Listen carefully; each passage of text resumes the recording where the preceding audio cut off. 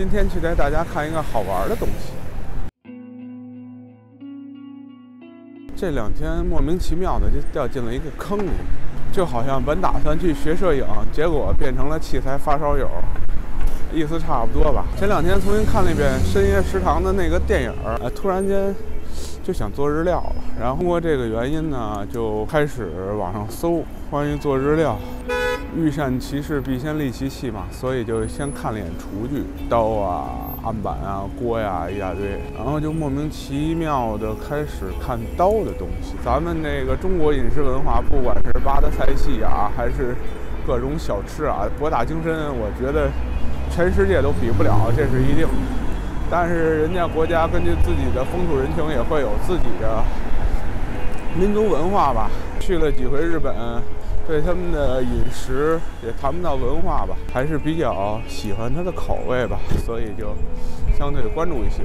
也不是说人日料没饮食文化啊，跟咱们比，它不能说什么博大精深，因为它也是超的全世界的。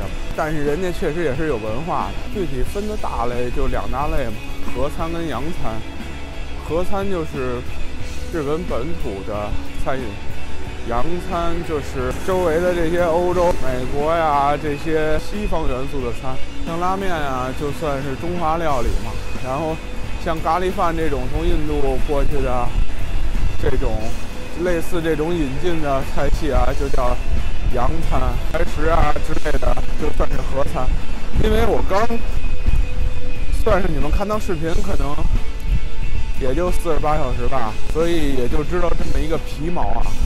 因为最开始我以为它是，因为最开始我以为日料是分淮石，然后关东、关西，然后就跟地域分的嘛。因为咱们不也是鲁菜、川菜什么这种粤菜的菜系，结果还不是那么回事儿。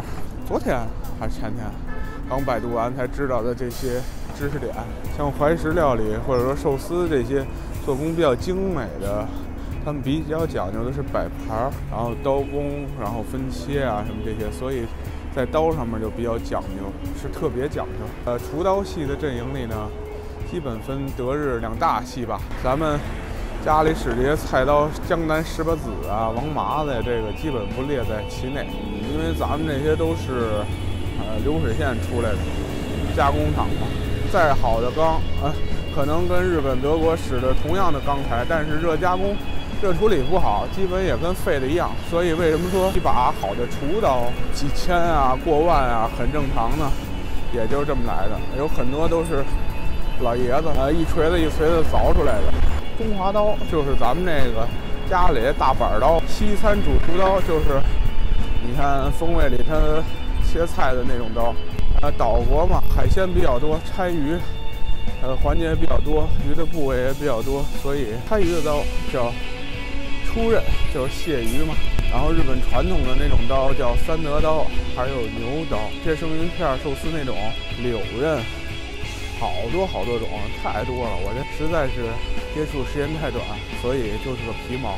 我为什么说掉坑里了呢？本来想的是学习做饭，然后不知道为什么就变成了这个弄刀了，然后越看就越 nice。然后越看价儿就心越凉，然后就可以转回咱们的正题了。所以呢，现在我要去看的就是一把传说级玩就玩到头的刀出刃。其实要是把牛刀就好了，但是要是牛刀可能会更贵。即使你有关系，现在定交定金，想拿到这把刀也是两年以后。虽然只了解了这二十四小时左右啊，呃，加了一些群。看了一些文章什么的，好多人都说了自己认知的那把玩玩到头了的刀。这些了解出刀的，百分之八十都是经营它的。所以呢，这个不乏大家的开始的那些初初衷都有一些变化。但是这把刀这个品牌，在这些人里都是公认的炒作品牌。但是这些人里只有一个人有这把刀。就是一提，可能我操，真牛逼！这这一刀就是这个意思。跟着就是啊，吵起来的也没有那么牛逼，让人很费解。新认识这小兄弟，他是有这把刀，他也自己做刀，人家也是厨子，我就特别喜欢这样的，因为跟我们初衷是一样的。只有你使刀，刀才有价值嘛。说的这些建议肯定是最具有参考价值的。人家又有这刀，就说这刀就那么回事儿，所以我觉得也就那样了呗。就是刀最主要的是使，但是厨刀分，它有那种好的工艺的，它是为了收藏的艺术品，那就单说了，那跟我也没关系。今天也来看一看这把被炒到五位数的刀，到底是个什么样？因为官方肯定是订不到，但是有价钱参考，官方才八万多日元。一个是因为确实是纯手工制作，老爷子初代木吧，初代火影，人家已经不打了，剩下就俩儿子跟着打，是个老匠人。但是，哎，分人吧，还是因为自己穷，应该是到了。我跟他联系一下，哎，GoPro 拍也就是那样，给大家拍拍看吧。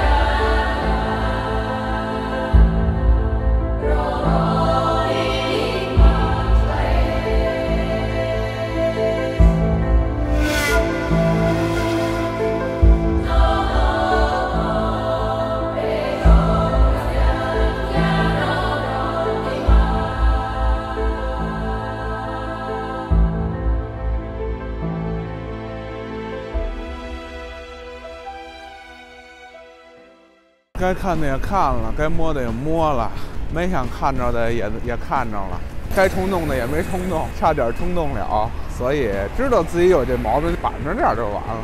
还是那句话，刀实用最重要。呃，什么品相啊，盘呐，盘刀你听过没有啊？这好家伙，盘的一身都是血，还不预算有呢，或者说不差钱呢，就不要让贫穷限制住了你的你的欲望。你要是说你使呢，我觉得还是得深入的了解研究一下，因为种类太多了。首先你要知道自己主要用它来切什么，你才能选到，对吧？像我这种鱼都基本不碰的主，我买把出刃马屎，卸自己使；买把柳刃马屎，骗自己使。所以这些东西一定要多研究吧，谁也帮不了你。你就是听哥们说的。啊，就跟买相机一样，这个多少人问我买什么相机，最后不还是买自己喜欢的吗？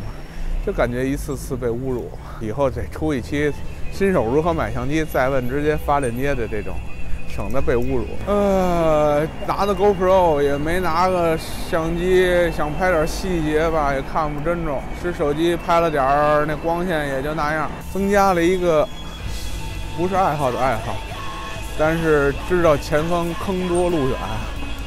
等知识储备量多了、高了，知道自己想要嘛的时候再说呗。明儿一早就得走，再回来就三月底见了。今天就这样，我们下次再见。